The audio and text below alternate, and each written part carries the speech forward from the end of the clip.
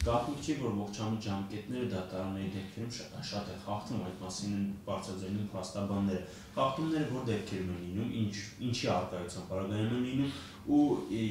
եթե հա, հարցը հա, անցնենք նրան, թե ինչպես լուծել, ինչ լուծումներ եք դուք գտնում, որտեղ ի վերջո դուք եք նշեցիք, որ տեղին չի լինի սա ամեն հստակ ժամկետներ, բայց ի վերջո ոնց լուծել ես խնդիրը։ Շնորհակալություն խախտումներին անդրադառնալիս կարող ենք առանձնացնել երկու գործոն՝ սուբյեկտիվ եւ օբյեկտիվ գործոն։ Սուբյեկտիվ գործոնը բնականաբար կապված է կոնկրետ դատարանի գործողությունների հետ եւ այդ առումով եթե քննարկում ենք այն հարցը, թե ինչպես վերացնենք ողջամիտ ժամկետներ խախտում, դա մի փոքր երկրորդային հարց է դառնում, որովհետեւ կարեւոր է այն օբյեկտիվ գործոնները վերհանել, որոնք որ խոչընդոտում են արդար դատաքննության իրականացմանը սահմանված ժամկետներում։ Այդ տեսանկյունից Հայաստանում կարծես թե միանշանակ է պատճառի վերանումը դա դատարանների ծանրաբեռնվածությունն է։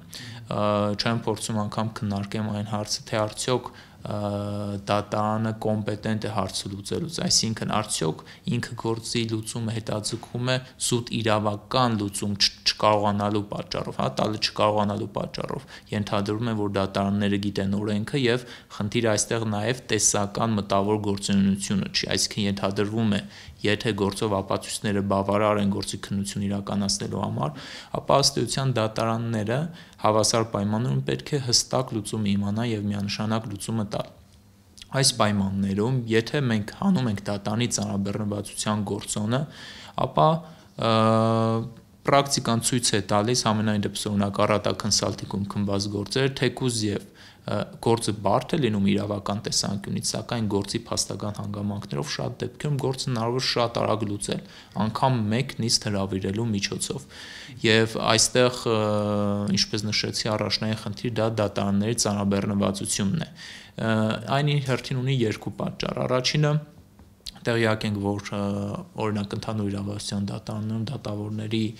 տրամադրվող աշխատակազմի հաստիկները բավականին քիչ են, օրինակ դատավորի օգնական ընդամենը 1 հոգի է։ Սակայն տեղյակ ենք, որ դատարանները 1 օրվա ընթացքում անգամ դեպքեր են լինում, երբ իրար հաջորդող 10-20 րոպեն իրար հաջորդող գործեր են լինում։ Նման պայմաններում բացառվում է պարզապես ողջամիտ ժամկետների պահպանումը։ Հետևաբար միայն ժամկետ ֆիքսել, ինչպես դուք նշեցիք, բավականին բարդ կլինի։ Առաջին հերթին պետք է ստեղծել նախադրյալներ, դատանին տրամադրել որակյալ հաստիկներով աշխատակազմ, ընդ որում աշխատակազմի վարչատրությունը պահպանել այն մակարդակի վրա, որպեսզի հնարավոր լինի ներգրավել որակյալ մասնագետների։ Հակառակ դեպքում գործող աշխատավարձի պայմաններն, որ կրկին բավականին ցածր, եթե չեմ սխալվում, 100.000 դրամը ավել չի գերազանցում նման պայմաններում բարդ է գտնել այնպիսի որակյալ իրավաբանի, որը կցանկանա դատարանում աշխատել նման ծանրաբեռնվածության պայմաններում։ Այսինքն ձեր արգումենտը դա ծանրաբեռնվածությունն է, այսինքն լուծում տեսնում եք ծանրաբեռնվածությունը թեթևացնելու ու աշխատավարձները բարձրացնելու, այսինքն որակյալ որակյալ կադրեր մտցնելով օբյեկտիվ գործոնների հետ կապված, այո, դա է լուծում։ Իհարկե լինում են դեպքեր, երբ կոնկրետ դատավորի գործողության հետևանքով կամ մյուս կողմի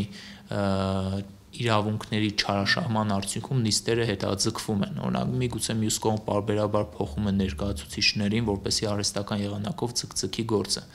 Իրականում դրա լուծումը հենց տրվում է դատարանի նաև գործող օրենսդրությամբ, քանի որ ըստ դատավարական օրենսդրության դատավարական իրավունքներից օգտվելը պետք է տեղ ունենա բարեխիղճ չարաշահելը արգելվում է։ Երբ դատարանը երբ որ տեսնում որ մյուս կողմը չարաշահում է այդ իրավունքները եւ հետաձգում է, ապա ինքը իրավունք ունի պարզապես չբավարարի համապատասխան միջնորդությունները այլ լուծումը սուբյեկտիվ գործոնների մասով ըստ էության դա պետք է հենց դատարանը պահպանի իսկ ինչ վերաբերում է օբյեկտիվ գործոններին ապա բնականաբար դատարանի վրա չի կարող բեր դրվել իր վրա հավելյալ աշխատակաց պահպանել, որը ստեյության չի էլ թույլատրվում եւ այդ ծանրաբեռնվածության պայմաններում ինքը չի կարող պահպանել ժամկետները հետևաբար այո օբյեկտիվ գործոնների մեջ առաջին առաջնային տեղը զբաղեցնում է հենց ծանրաբեռնվածությունը եւ մյուս կողմից չնայած նշում ենք որ կան գործեր որ հնարավոր է անգամ մեկ նիստով ավարտել պետք է հիշել որ կան գործեր անկախ իրենց բարդությունից, իրոք դրանք պետք է շուտ ավարտել։ Օրինակ աշխատանքային վեճերը, եթե անձին աշխատանքից ազատել են, եւ նա վիճարկում է այդ ազատման օրինաչափությունը, ապա բնականաբար այդ վեճը այնքան արագ պետք է լուծվի, որպեսզի անձը կարողանա վերականգնվի աշխատակում։ Հակառակ դեպքում պատկերացնում եք անձը փորձում է իր իրավունքները պաշտպանել եւ դա ըստ գործող պայմանների չի բացառում անգամ տևի 2 տարի վերաքնիջ եւ վճռաբեկ բողոք բերելու արդյունքում եւ հարց է առաջանում 2 տարվա ընթացքում անձը իր աշխատանքային իրավունքները չպաշտպանելու պայմաններում ինչ աշխատավարձով պետք է ապահովի իր կյանքի պայմանները կամ ընտանեկան վեճերը երեխայի դաստիարակության հարցերը նման հարցերը անկախ գործի բարդությունից պետք է հստակ ժամկետներ ֆիքսվեն որոնք պետք է առաջնային լուծվեն բայց մյուս կողմից կան իհարկե գործեր, երբ իրոք ապացույցների հավաքման հետ կապված պետք է լրացուցիչ ժամկետներ տրամադրում եւ նման դեպքերում դատարանին պետք է տրամադրվի ոչ թե խիստ մոտեցում, այլ ենթադրեք նշվի որոշակի ժամկետ, սակայն թույլատրեն որպեսի այդ ժամկետը հետաձգվի, նոր ժամկետ սահմանվի, բայց այստեղ նաև այսպես ասած պրևենտիվ եւս մեկ կարգավորում պետք է նախատեսվի, որ դատանի կողմի ժամկետների խախտումներ հայտնաբերելու դեպքում կողմերը պետք է հնարավորություն ունենան դա բողոքարկեն այսպես ասած անգործությունը բողոքարկեն ներկայիս գործող օրենսդրությունը դրանք կոչվում են միջանկյալ դատական ակտեր, պայմանականորեն կարող ենք այդպես անվանել, չի թույլատրում նման անգործությունը դատարանի կամ գործողությունը, որը հանգեցնում է գործի քննության ձգձգմանը, բողոքարկել վերաքննիչ դատարան անգամ համանadrական դատարանը նման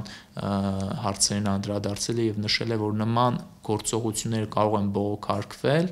վերջնական դատական ակտի շրջանակներում։ Այսինքն սահմանադրական դատարանը նման կարգավորումներ գտնում է իրավաչափ, նշելով, որ դա կարող է բողոքարկվել, երբ որ կլինի վերջնական վճիռը կամ այլ դատական ակտը, եւ դա բողոքարկելիս բողոքաբերը կարող է այդ փաստերը նաեւ այստեղ նշել։ Սակայն կարծում եմ, որ դա եւս բավարար չէ, որովհետեւ եթե ժամկետները խախտվում են ողջամիտ, ապա շատ դեպքերում անգամ եթե հայցը բավարարող կամ մերժող է լինում ըստ համապատասխանանձի շահերի, շատ դեպքերում այդ ակտը այլևս պիտանի չէ, այլ այն կատարելը կամ հնարավոր չէ, կամ եթե հնարավոր է, ապա դա այլևս չի բխի տվյալ անձի շահերից։ Իսկ նոր նախագիծ այդ դրույթը ամրագրում է ըստ էության այդ դրույթը պետք է ամրագրվի ոչ թե նոր նախագծով, այլ կոնկրետ յուրաքանչյուր դատավարության օրենսգրքով, հա, քրեական դատավարության, քաղաքացիական եւ վարչական դատավարության օրենսգրքերով։ Այնպես որ այդ դրույթը ոչ միայն չի ամրագրում, այլ նաեւ կարգավորման առարական էլ չպետք է հանդիսանա, որովհետեւ յուրաքանչյուր վարույթ իր բնույթից ելնելով առանձնահատուկ է։ Դա չպետք է կարգավորվի դատական օրենսգրքով, այլ պետք է կարգավորվի ըստ առանձին օրենքների։ Հիմա եկեք պատկերացնենք, որ այդ 1 տարին կրճատվում են ընդամենը 1 ամսով։ Այսինքն 1 տարվա ընթացքում 12 ամիս 12 անգամ օրենսդիրը հնարավորություն կունենա այդ խնդիրները բացահայտի ավելի արագ եւ լուծում տա։ Այսինքն 12 անգամ, իհարկե կոպիտ հաշվարկով, հասարակության իրավագիտակցության եւ օրենսդիր մարմնի արդյունավետությունը 12 անգամ տարվա ընթացքում արագանում է իսկ ցանկացած ոլորտ ներկայումս ըստ էության կարգավորվում է օրենքով. ցանկացած ոլորտ, որը որ առնչվում է պետության հետ հատկապես։ Բայց մեր բարակային հարցերն է, որ ամեն ինչ այդքան արագ առաջին այցենով չի ընթացնում ամիջը վճռաբեկ դատարան կամ էս ՍԴ վճռաբեկն է սպառում մտնում է ՍԴ, ՍԴ-ն իր որոշումն է ընդունում նոր օրենսդիրը արդարադատության նախարարությունը կառավարությունը որոշում է օրենքը փոխել համապատասխանեցնելով ՍՏ-ի որոշումներին։ Ահա, կրկին համեմատություն բերենք արտասահմանյան, հատկապես զարգացած պետությունների իրավակիրառ պրակտիկայից։ Այնտեղ վերաքննությունը միայն ձևական առումով անհասկանալի երևույթ է։ Միայն խիստ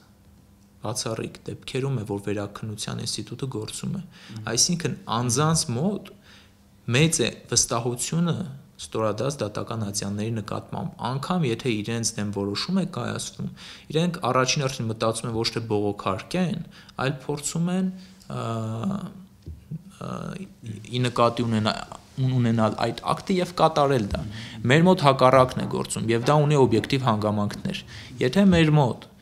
այդ գործընթացը արագ լինի, դատարանները գործեն արդարադատության շահերից ելնելով, ապա բնականաբար բնակչության մեծամասնության վստահությունը կվերականգնվի եւ նրանք եւս իրենց վստահությունից ելնելով վերաքննիչ բողոք չեն ներկայացնի։ Բնականաբար ժամկետները չեն ձգվի, երկրորդը վերաքննիչ եւ վճռաբեկացյանների ծանրաբեռնվածությունը կթեթևանա եւ իրոք նրանք կկարողանան արդյունավետ իրականացնել իրենց գործառույթները։ Դա հեշտ գործընթաց չէ, դա ունի տարբեր կողմերից խնդիրներ, սակայն պետք է այդ խնդիրներին համակողմանի անդրադառնալ։ Իհարկե կարող ենք ասել, որ եթե սա անենք, ապա մյուսը բաց կմնա, եթե մյուսն անենք, ապա չորրորդը բաց կմնա։ Հետևաբար պետք է համակողմանի անդրադառնալ։ Անկամ դա կարող է ազդել կոռուպցիայի նվազեցման վրա, ընդամենը մեկ օրինակով։ Պատկերացնենք, անձը փորձում է իր սեփականության իրավունքը գրանցել։ Օրինակ, գործարքի հիման վրա ինչ-ինչ պատճառներով կադաստրի մարմինները փորձում են այդ անձին մերժել։ Ենթադրենք այդ մերժումը լինում է ոչ իրավաչափ։ Սակայն անձը ընտրության արժև է կանգնում կամ փորձել այլ եղանակով, ոչ օրինական եղանակով հարց լուծել եւ արագացնել իրավունքի գրանցումը կամ դիմել դատարան, սակայն դիմելով դատարան նրա իրավունքների պաշտպանությունը կիրականացվի 1 տարի հետո։ Բնականաբար շատ դեպքերում անձինք մտածում են, որ կարևոր է վեճը արագ լուծել, իսկ դրա լուծման համար պետք չի մտնել դատարան։ Եթե անգամ այս դեպքում ինքը չի մտնում դատարան, ապա ինչ է ստացվում։ Այն աշխատակիցը, որը դիտավորյալ կամ ոչ դիտավորյալ խախտելով օրենքը չի գրանցել իրավունքը, ինքը չի պատժվում։ Այսինքն ինքը կրկին եւ կրկին եւ կրկին կատարում է։ Սակայն եթե արդարադատությունը արագ գործեր, անձը իմանար, որ ընդամենը 1 դատական նիստում 1 ամսվա ընթացքում իր վեճի լուծումը տրվելու է, ապա նա միանշանակ կդիմի դատարան, 1 ամիս հետո կարգապահական վարույթ կհարուցվի համապատասխան աշխատակցի նկատմամբ, այդ աշխատակիցը կգիտակցի, որ երկրորդ անգամ նույն խախտումը թույլ չի տա եւ համակարգը կգործի։ Կարծում եմ, պետության զարգացման, կայունության, անվտանգության ցանկացած տեսանկյունից ամենաառաջնային նշանակությունը այդ առումով արդարադատությունն է։ Իսկ եթե արդարադատությունը չի իրականացում ժամկետներում, ապա այլևս այն արդյունավետ չէ։ Բնականաբար պետության մյուս ոլորտները, սկսած տնտեսությունից վերջացրած